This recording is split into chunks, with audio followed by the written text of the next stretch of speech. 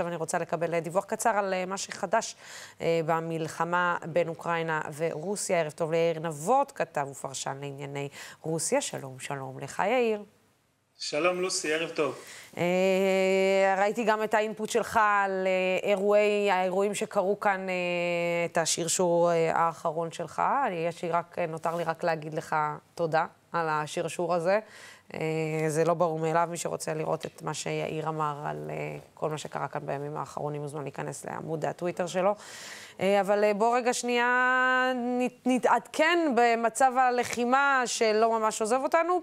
פוטין, איך נגיד, בלחץ כבר, או שהוא עדיין לא מראה סממנים כאלה? זו שאלה טובה.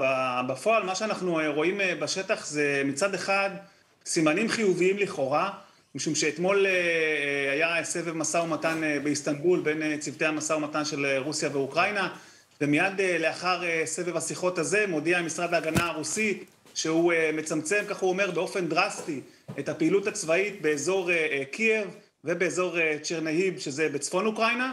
על פניו אלה הם כמובן חדשות חיוביות, וגורמים אמריקאים אכן אישרו שהרוסים מסיגים חלק מהכוחות שלהם מאותם אזורים, אולי לכאורה לקראת איזשהו, איזושהי התקדמות במשא ומתן, אבל בפועל יש חשדנות מאוד מאוד גדולה, גם אצל האוקראינים וגם אצל המערב, לגבי הרוסים. אומרים, אנחנו לא, לא מסתפקים בדיבורים, אנחנו רוצים לראות מעשים, משום שאנחנו חוששים שבעצם מה שקורה כרגע זה שהרוסים מתארגנים מחדש בעקבות האבדות הכבדות שהיו להם ובעקבות הבעיות הקשות הלוגיסטיות שבהן הם נתקלו באזור קייב. צריך לזכור שהם נתקלו שם בהתנגדות מאוד מאוד קשה שבעצם מנעה מהם להתקרב לאזור קייב, העיר עצמה, ולכן אחת הסברות היא שבעצם פוטין עושה פה סוג של הפסקה, הקפאה של המצב, מסיג חלק מהכוחות, אולי מתכוון להתארגן מחדש, זו אופציה אחת, ואז לנסות ולחזור שוב, או שאולי הוא בעצם מכיר בכך שאת קייב הוא כבר לא יצליח לכבוש ולהתקרב אליה, והוא מתכוון למקד את המאמצים של רוסיה במזרח אוקראינה כדי לכתר שם את הכוחות האוקראינים שכבר נמצאים, ולסיים את הפעולות בדרום אוקראינה, באותה, בעיקר להתמקד באותה עיר נצורה, מריופול, שעדיין נצורים בה עשרות אלפי בני אדם, שהיא הרוסה לגמרי, מה שנשאר מהעיר למעשה, הוא עדיין לא הצליח לכבוש אותה. אז כרגע יש סוג של המתנה, לראות מה בדיוק הרוסים עושים עם הרבה הרבה חשדנות, והלילה עדיין נמשכו הפעולות, היו הפצצות, היו הפגזות כבדות באזורים שונים באוקראינה, כך שאני לא יכול לומר עדיין שאנחנו מתקרבים למרבה הצער לסוף הסיפור הזה.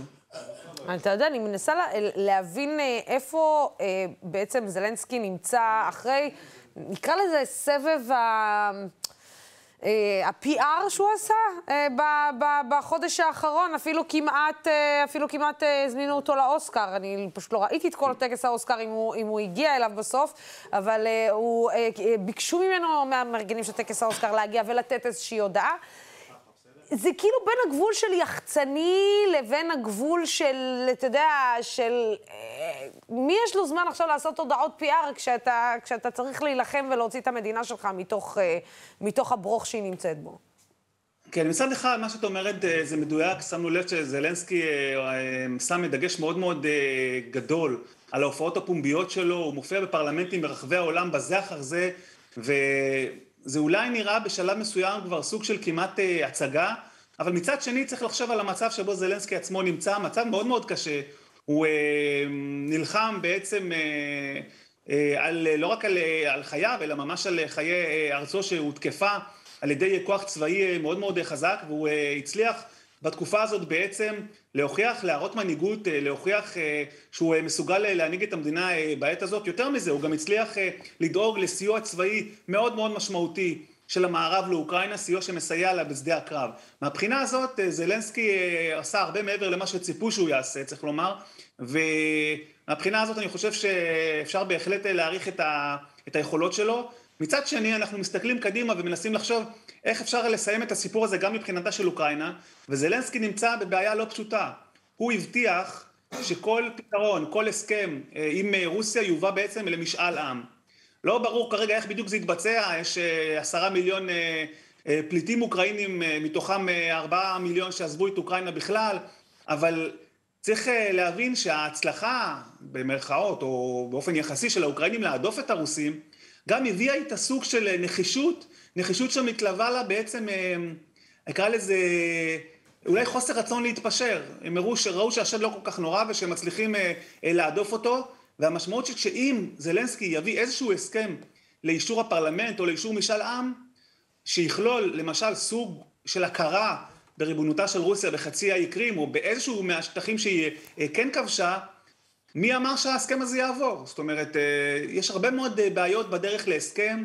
אוקראינה מתעניינת באפשרות של לקבל ערבויות ביטחוניות מהמערב, במקרה של תקיפה רוסית עתידית, אבל באופן צפוי, לא כל כך הרבה מדינות מוכנות לתת לה את הערבויות הביטחוניות האלה, כשמדובר באפשרות של לימוד צבאי מול רוסיה. לכן זה מצב מאוד מאוד סבוך ומורכב, ולמרות המשא ומתן ולמרות ההתקדמות לכאורה והכיוון החיובי אולי שאנחנו אה, ראינו אתמול באיסטנבול, אני עדיין מתקשה כרגע כן. לראות את האור אה, בקצה המנהרה אה, מהבחינה הזאת, ויש יותר סיכוי סביר שאנחנו נכנסים לסוג של תקופה שהיא מעין תקופה של מלחמת התשה, או סכסוך כפוי שמתפרץ מדי פעם, כי קשה לי לראות את הצדדים מוותרים באופן משמעותי על העמדות העקרוניות המאוד מאוד מוצקות שלהם. אני רק, אה, אתה יודע, השאלה היא, אה, יאיר, זה נדמה, או שאנחנו פשוט עסוקים עכשיו בדברים עם עצמנו, אבל זה נדמה או שהסיקור סביב המלחמה הולך ודועך, או שזה רק אנחנו קצת, אה, אתה יודע, הורדנו את הרגל בגלל כל מה שקורה אצלנו בשבועיים האחרונים? לא, אני חושב שאת מדייקת. אני חושב שבאופן מצער כמובן, כמעט התרגלנו, גם העולם התרגל למלחמה הזאת, אנחנו מדברים. מהר מאוד התרגלנו, הייתי אומרת. יותר מחודש של לחימה, ואנחנו זוכרים בשבוע הראשון, ש... ובשבועיים הראשונים, אה, דיווחים אה, יומיומיים כל שעה, ועם הזמן נראה שהקהילה הבינלאומית התרגלה למציאות הזאת של מלחמה. אגב, זה אחד הדברים שזלנסקי עושה מאמץ מאוד מאוד גדול למנוע, וההופעות הפומביות שלו, בין השאר מטרתן גם אה, לשמור, לשמר כל הזמן את העניין סביב אוקראינה, כדי שלא ישכחו אותה, וכדי שלא נתרגל למצב הזה של אה, מלחמה אה, באירופה, אה, מיליוני פליטים, ואני חושב שזה גם אחד הדברים שמניעים אותו בהופעות הפומביות האלה, כי הוא מאוד מאוד חושש שהעולם והקהילה הבינלאומית פשוט יתרגלו למצב הזה, וזה לא משרת את אוקראינה כמובן מצב כזה, בעוד שרוסיה אולי מבחינתה יכולה להמשיך את המצב הזה לאורך זמן קצת יותר ארוך. עבור אוקראינה זה כמובן בעיה קשה, בהתחשב בנזקים האדירים שהם סופגים וכמובן בקורבנות. כן. יאיר נבות, אנחנו, אותנו זה ימשיך לעניין, אז תהיה בטוח שאתה תמשיך להיות אורח קבע, לפחות באחת התוכניות במהלך השבוע אצלי כאן בדמוקרט TV. בלי שום קשר, תמיד כיף לשמוע אותך. שוב, תודה רבה לך תודה על רבה. כך שאתה איתנו בכל פעם מחדש.